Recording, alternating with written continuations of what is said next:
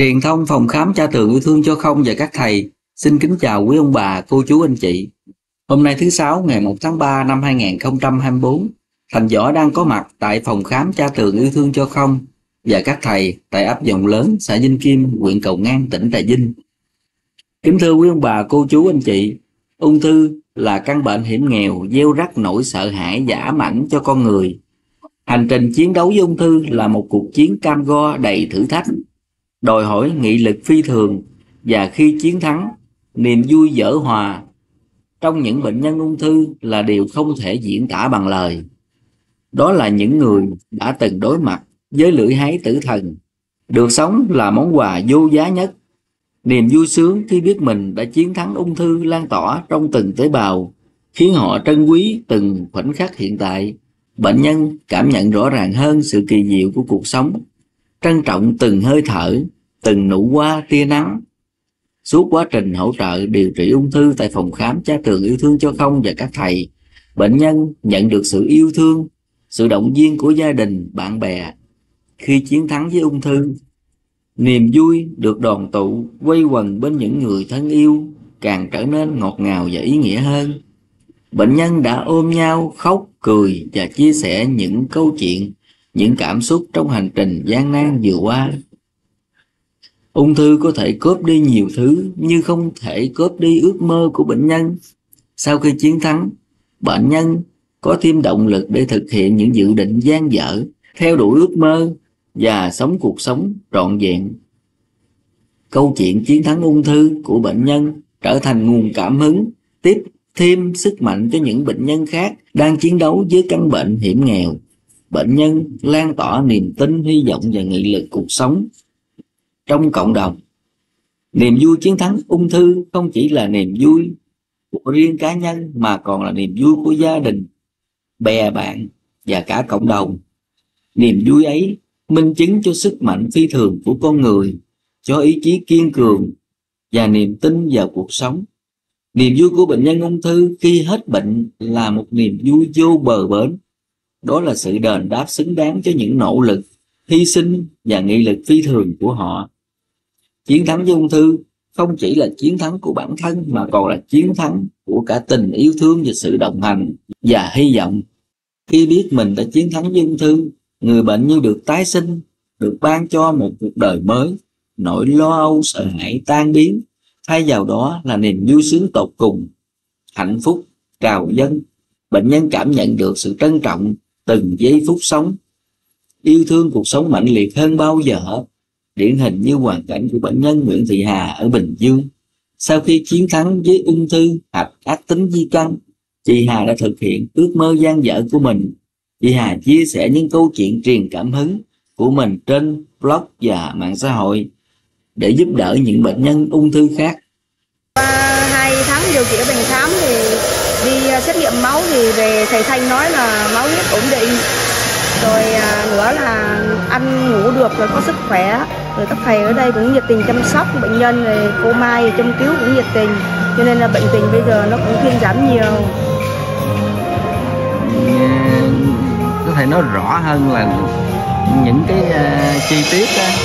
những chi tiết uh, ví dụ như là uh, các cái khối u thì uh, là nó giảm nó giảm nhiều những hạt chưa có ở trong uh, uh, nách bụng bẹn á. Là bữa rồi đi uh, đi đi làm cái uh, cái cái city á ở trên thành phố về á thì thầy nói là nó có giảm nhiều nó ổn định. Thứ thứ hai nữa là cái cơ thể của mình nó khỏe. So với bữa trước bữa trước xuống đây thì yếu không có tóc.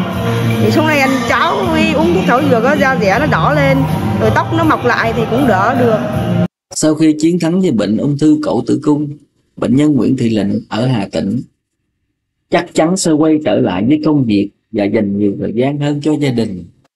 Nhân sẽ thường xuyên tham gia các hoạt động tình nguyện để giúp đỡ những người có hoàn cảnh khó khăn.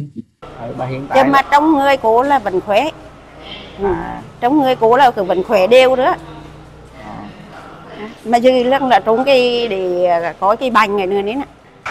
Thầy cô ở đây hà gần hai tháng rồi mà các nhận xét của các thầy các cô đây là thầy, cô cũng mừng lắm. Cô cũng thích. Cô cũng thích lắm. Nguyên nhân sao thích vậy? Thì các cô các thầy vẫn quan tâm á thầy vẫn hỏi hắn họ động viên á các là cô mừng đấy nè có gây khó dễ gì không? Không không có ai khó gì chứ hết. Ai cũng quan tâm là cô mừng. Niềm vui của bệnh nhân ung thư khi hết bệnh là minh chứng cho sức mạnh phi thường của con người. Nó là nguồn động viên to lớn cho những ai đang đối mặt với căn bệnh ung thư. Hãy luôn giữ vững niềm tin, hy vọng và chiến đấu hết mình để chiến thắng ung thư và tận hưởng cuộc sống tươi đẹp. Mẹ của bệnh nhân Dương Hoàng Long, bà Hoàng Thí Vinh ở Bạc Liêu. Bệnh nhân Dương Hoàng Long bị ung thư lưỡi không nói được anh Hoàng Long cũng ấp ủ nhiều ước mơ trong cuộc sống. Thì khi mà đến đây thì là coi như trên thành phố là khoảng hơn 10 ngày là cháu nó không có ngủ được một tí nào cả. Suốt đêm nó ngồi nó bó gối vậy đây. Mà nó đau dữ dội lắm một ngày là phải uống 8 viên thuốc ờ, giảm đau với lại ờ, thuốc ngủ rất là nhiều nhưng mà không ngủ được và cũng không không có giảm đau. Thì khi về đây thì là ngày đầu ấy thì là mặt mũi nó sưng chề hết như mọi người đã biết rồi đó. À, sau khi được hai ngày á thì là cháu ngủ được à, được được hai, hai tiếng. Và đến ngày thứ ba thì là ba bốn tiếng. Và đi giờ thì là khoảng 10 ngày là bắt đầu cháu ngủ được khoảng 5 tiếng một ngày rồi. Nhưng mà giờ đau thì nó giảm đi rất là nhiều. Ừ, coi như là một ngày nó uống có hai rác à, hai rác thuốc giảm đau thôi. Đó. Thì tình hình cháu bây giờ là hàng ngày là ra đồng tắm nắng vậy đó. Ăn uống thì cháu ăn rất là tốt. Ăn theo à, cái cái chỉ định của cha ở đây là cháo nano với lại thảo dược đấy là tuyệt đối là không có ăn ăn động vật. Thì hiện nay cháu cũng vẫn khỏe bình thường. À, bây giờ thì nó chỉ còn à, đau thôi. Đau nhưng mà đau đỡ rất nhiều so với Sài Gòn ạ. Ừ. vâng. Rồi, mà mặt cũng đỡ sưng rồi môi cũng đỡ sưng rồi. Vâng. chiến thắng với bệnh ung thư giúp họ nhận ra giá trị cuộc sống và trân trọng từng khoảnh khắc hiện tại.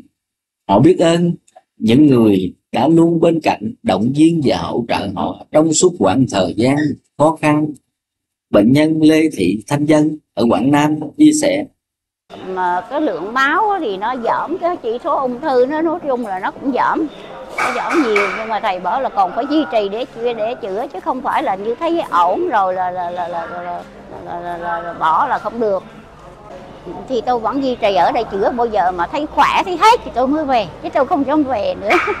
Bây giờ mà cảm thấy là không còn cái giác người khỏe an được thì tôi mới về. Còn mấy ngày này là an không được từ hôm tới tới giờ là an ít lắm. Thì được cái kết quả ngày hôm nay á, cô có thể chia sẻ gì cho bệnh nhân còn lại không vậy? Trời mừng quá nếu mà bệnh nhân thì cứ dùng theo phác đồ của cha đúng y như đó thì tôi thấy là tốt lắm rất là tốt lắm như tôi là tôi dùng y có về nhà rồi. Tuy là mặc dầu không có nước nhưng mà tôi vẫn ra thiêu thị mua nước uh, uh, 9 năm á của thiêu thị. Tôi về tôi làm tôi uống cũng thuốc y cái, cái, cái những cái ngày tôi về tôi cũng làm y phát đồ như đứa đó. Nhưng mà về là bị thời tiết ở ngồi Quảng Nam nó mưa nó lạnh nó bất thường cho nên ngồi nó cũng, cũng khó chịu. Nó rất là khó chịu trong đi vào cứ trong đi vào cha thôi chứ còn để chữa trừ là thôi ở bây giờ mà hết trơn rồi lành khỏe mới về. Cảm ơn cha cảm ơn chúa cảm ơn các thầy. Bệnh nhân phạm thị phượng ở hải phòng sau khi chiến thắng với bệnh ung thư vú bệnh nhân là nguồn động viên to lớn cho gia đình và những người xung quanh. Em con chữa ở đây thế là nó khỏi rồi thì là nó bảo con là cứ đi vào đây chữa. Thế là thế là con đi vào đây chữa thì đến giờ là được 3 tháng 10 ngày thì là con đi khám thì ờ, bệnh viện người ta cũng bảo kết quả tốt thế giờ con mang về cho thầy thanh xem thì thầy cũng bảo là kết quả tốt thì thứ ba thầy cho ra viện ạ. Ừ, thứ ba này cho ra viện. Dạ. Vậy thì uh, trong quá trình đó mà mình uh, điều trị ở đây nè dạ. mình làm như thế nào để cho hết bệnh dạ, con ăn theo phác đồ của cha mấy các thầy hướng dẫn thì là về uh, ăn theo phác đồ mới lại không không ăn ờ, động vật thế này uống thuốc trà thảo dược nano nữa để ăn cháo nano với trà thảo dược nano với ăn rau củ quả thì ờ, cái, cái lúc mà con chữa ở đây được hơn tháng thì phòng khám là bị ờ, phá rỡ thì lúc đấy là bệnh nhân con với cả các bệnh nhân khác thì là rất là hoang mang và lúc đấy là kiểu giống như là, đang đang chữa dở mà bị phải bỏ về thì là con cũng buồn thế là nhưng mà lúc thầy thanh mà nhắn tin bảo là ừ, thầy vẫn ừ, tiếp tục điều trị phải không? Vâng thầy nhắn tin là động viên bệnh nhân vẫn tiếp tục điều trị ở đây. Thế là con lúc đấy con cũng định về nhưng mà mấy người cứ khuyên ở lại. Thế là con ở lại tiếp tục thì là đến lúc thầy này nhắn tin thông báo này bảo là là, là thầy che bà tạm lên để chữa cho bệnh nhân thì thì lúc đấy là bọn con lại có động lực để ở lại. Tiếp ạ không thì lúc đấy là để, đã chuẩn bị là đồ đạc để để về rồi. Nhắc tới nhắc tới chuyện đó cũng xúc động chứ. Vâng ạ. Tại phòng khám thì bị dỡ xong này. Bệnh nhân thì đang chữa nhưng mà bệnh của con thì nó cũng chưa chưa được như nào chưa biết được kết quả ra làm sao. Rồi bây giờ được vậy chứ rất mừng ha. Dạ dạ và giờ thì con kết quả thì thầy đọc hết bệnh rồi thì con cũng vui vui mừng ạ. Dạ, con cũng bây giờ phòng khám được khang trang như này con cũng cảm ơn tất cả các mạnh thường quân trong và ngoài nước và các nhà hảo tâm đã giúp đỡ phòng khám giúp đỡ các thầy để có được như ngày hôm nay ạ để chăm lo cho bệnh nhân được hết bệnh ạ. Rồi cảm ơn ờ, chị. Mong chị ờ, về cố giữ gìn phát đồ. Dạ. Và vượt khỏi chung thoát khỏi căn bệnh hiểm nghèo này. Niềm vui của bệnh nhân ung thư khi hết bệnh là minh chứng cho sức mạnh phi thường của con người cho ý chí kiên cường và niềm tin vào cuộc sống. Niềm vui ấy là nguồn cảm hứng tiếp xuyên sức mạnh cho những bệnh nhân khác đang chiến đấu với căn bệnh hiểm nghèo. Niềm vui chiến thắng ung thư được chia sẻ rộng rãi trên mạng xã hội qua những câu chuyện truyền cảm hứng. Những bài viết đầy hy vọng, điều này góp phần nâng cao nhận thức về ung thư, khích lệ tinh thần cho những bệnh nhân đang chiến đấu với căn bệnh này. Sau đây, thành võ xin thông tin đến bà con, cô chú, anh chị về cách phòng ngừa bệnh ung thư và cách phát hiện sớm ung thư. Cách phòng ngừa ung thư, có nhiều cách để phòng ngừa ung thư bao gồm chế độ ăn uống lành mạnh, ăn nhiều trái cây, rau xanh, ngũ cốc, nguyên hạt và hạn chế thức ăn chế biến sẵn, thịt đỏ và nhiều đồ ăn, nhiều dầu mỡ. Tập thể dục thường xuyên, tập thể dục ít nhất 30 phút mỗi ngày 5 ngày mỗi tuần. Tránh hút thuốc lá, hút thuốc lá là nguyên nhân chính gây ra nhiều loại ung thư hạn chế sử dụng rượu bia, uống quá nhiều rượu bia có thể làm tăng nguy cơ mắc một số bệnh ung thư. Tiêm vaccine phòng ngừa ung thư, có một số loại vaccine có thể giúp phòng ngừa ung thư, bao gồm như là vaccine HPV và vaccine viêm gan B. Cách phát hiện sớm ung thư. Phát hiện sớm ung thư giúp tăng khả năng điều trị thành công bạn nên đi khám sức khỏe định kỳ để phát hiện sớm ung thư. Một số dấu hiệu cảnh báo ung thư bao gồm thay đổi thói quen đại tiện hoặc là tiểu tiện, lét hoặc là vết thương không lành, chảy máu bất thường, khàn tiếng hoặc ho dai dẳng, sưng tấy bất thường, giảm cân không rõ nguyên nhân. Ung thư là một căn bệnh nguy hiểm nhưng có thể phòng ngừa và điều trị hiệu quả nếu được phát hiện sớm hãy áp dụng các biện pháp phòng ngừa ung thư và đi khám sức khỏe định kỳ để bảo vệ sức khỏe của bản thân. Kính thưa quý ông bà cô chú anh chị cũng ngay trong hôm nay phòng khám cha tường yêu thương cho không và các thầy vẫn tiếp tục nhận bệnh nhân mới. À, trước Tết là bị chó cắn chó cắn rồi rồi qua Tết bắt đầu làm sốt. Mà cỡ 15 ngày mới phải mới làm sốt làm sốt cỡ ngày mùng mùng 9 mùng 9 tháng giêng. Ờ, làm sốt miết ờ, rồi mới chở đi đi xuống là tiêm ngừa thuộc chó chứ không có nghĩ là tới bệnh. Đi xuống cái là bác sĩ nói là ờ, chó cắn 15 ngày thì không có thể nào chích được. Bây giờ bệnh sốt thì qua là bác sĩ khám đi. Thì qua bác sĩ ờ, tư khám thì siêu âm CT đồ hết rồi thì là bác sĩ nói là, là chuyển qua bệnh viện lớn cho giấy chuyển tiến qua bệnh viện lớn thì mai lại đi qua bệnh viện lớn thì là à, bác sĩ là à, cũng chụp CT lại hai lần hai lần thử máu rồi luôn thì bác sĩ coi là thôi giờ cho chuyển viện chứ không có là thử là trị được. Thì là mới cho vậy giấy chuyển viện là tới 115 bệnh viện nhân dân. Đó, vô đó thì à, ngày đầu vô ngày qua ngày thứ hai là thử thử máu thử um, xong hai lần thử máu. Rồi là qua ngày thứ ba là kết quả là bác sĩ kêu vô trong phòng nói là à, có thể nếu mà nhà có điều kiện sống theo là bên tây y thì à, có có điều kiện thì sống theo ờ, ờ, chị chị bên tây y là à, một ngày trị cỡ là 700 hoặc 800 ngàn bên thuốc là tổng cộng một tháng như là cỡ mười mấy triệu. Đó là thống sống theo là hàng ngày. Chứ cũng chưa biết phán biết là um, à, cái ngày nào là bệnh nhân à, khỏi. Đó như bây giờ là nếu mà có khả năng thì à, sao thì à, bây giờ là cái lá gan là bên phải là cắt đi một một một bên khối u bự còn bên lá trái thì có một mấy cái mục nhọt là nên đốt đi. Thì bây giờ là phải chạy là sống theo nếu mà có điều kiện thì sống theo thuốc như vậy. Thì em mới nói là thôi bây giờ bác sĩ nhà không có điều kiện khó khăn lắm. À, bác sĩ cho xuất viện đi. Đó rồi cái bác sĩ nói là thôi được sao xuất viện thì xuất viện. Mà ngày hôm qua là cho xuất viện xong cỡ một giờ mới là bắt xe biết tới ờ, đón xe miền tây tới bến xe miền tây rồi bắt xe trà vinh tới điên hồi hôm. Đó là 7 giờ tới nhà nghỉ ờ, Phương Thùy vậy đây nè. Rồi vô là sáng em mới vô trong này. Vậy thì à, à, thưa chị vậy thì nói chung là chỗ thầy thanh á, nãy giờ tư vấn á, chị hiểu sao thế nào và chị có tin tưởng tuyệt đối ở đây không? à, à lúc à, trước kia là hiện giờ có bà chị ruột à, ở ở cách một thôn à, chị theo dõi ờ, kênh của thầy tường mười mấy năm nay rồi gần hai chục năm nay rồi.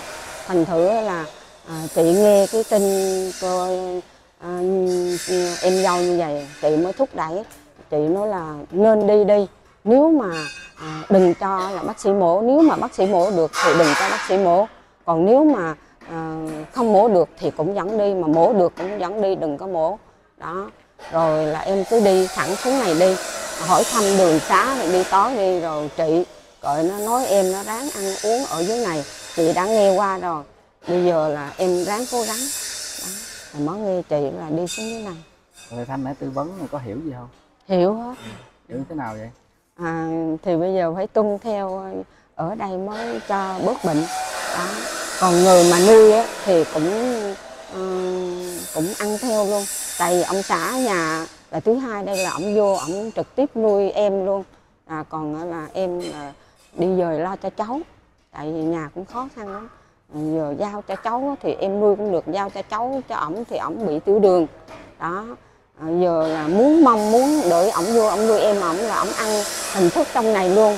Cho là à, ông xã nhà là ổng đỡ bệnh luôn.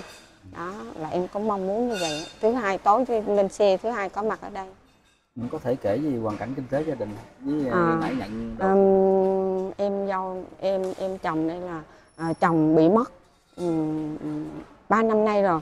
Đó là trước kia là có hộ nghèo nhưng mà khi mất rồi thì ờ, dời trên nhà phía bên ngoài ở. Đó rồi con thì thằng trai thì có chồng có vợ ở bắc rưỡi ở phía bên vợ luôn. À, còn đứa con gái thì đang đi làm. À, nó đợi nó đòi vô nuôi nhưng mà thôi để mợ mợ vô mợ nuôi. À, có gì con làm thì con kiếm tiền là hỗ trợ cho cho mẹ. Đó, là để ở nhà.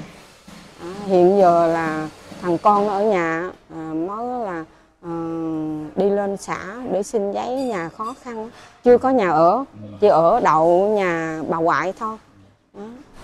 cũng chưa có nhà ở ráng cố gắng làm mà mà để mà mà để cho có cái nhà mà không có nghĩ tới bệnh đau gì hết mà giờ này phát hiện ra như vậy. Cảm ơn nhà hai thanh. Cảm ơn dạ.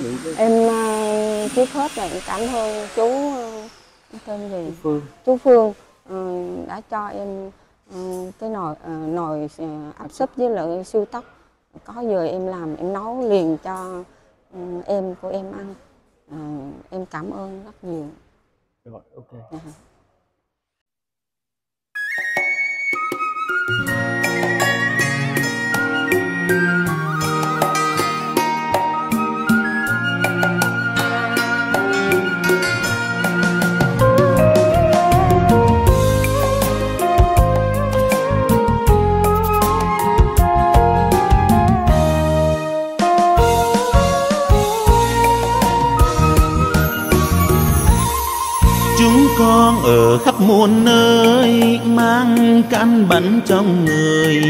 Căn bệnh ung thư cha ơi. Hôm nay con trở về đây, cầu ngang có một ông thầy, chữa bệnh cứu người rất hay. Chúng con ở tận miền trung, con thì ở ninh bình, con thì ở tận trà vinh. Hôm nay được đến bên cha, ăn cây cỏ mang hạt giống với lòng yêu thương cho con. Ăn cháo nà nó uống trà thao giường vậy mà người ơi, xóa tan khối u ác tính xoa dịu nỗi đau người bần, mang lại hạnh phúc khắp nơi chúng con mừng quá cha ơi, một công trình khóa hồng, một nghiên cứu để đời được cha áp dụng cứu người để niềm tin đời đời vào đức chúa sáng ngời.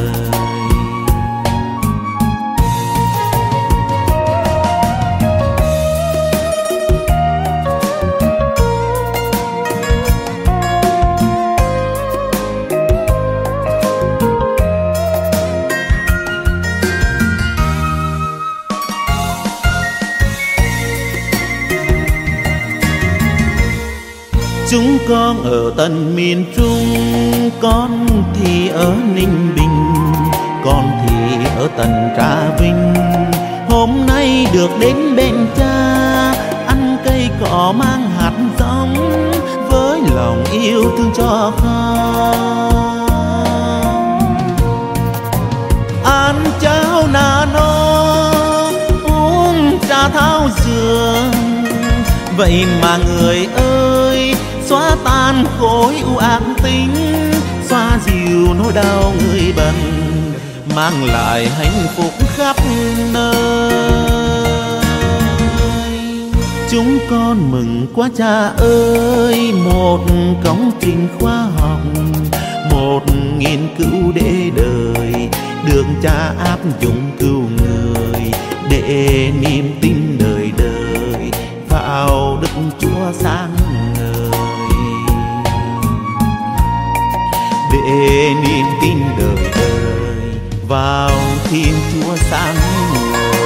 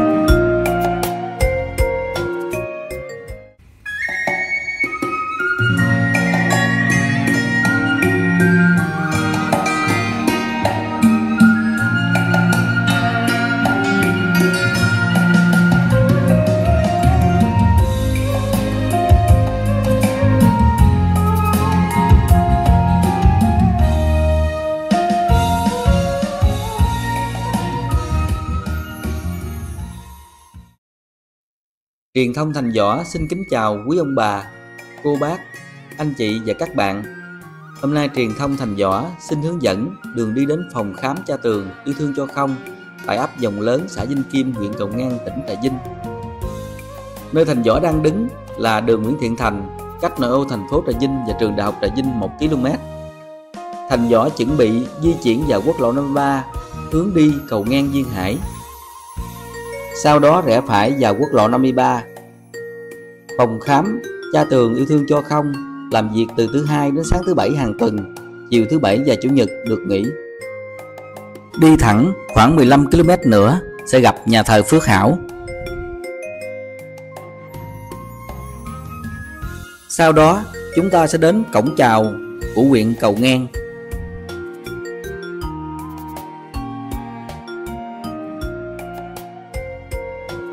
Đi khoảng 5 km nữa, chúng ta sẽ gặp nhà thờ Vinh Kim.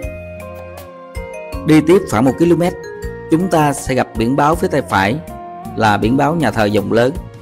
Sau đó, theo hướng chỉ dẫn vào nhà thờ dòng lớn là rẽ trái và đi tiếp nhìn thấy nhà thờ dòng lớn nhưng chưa đến nhà thờ dòng lớn thì chúng ta thấy biển báo phòng khám yêu thương và rẽ phải, theo hướng chỉ dẫn đến phòng khám và sẽ tới nơi thân ái kính chào.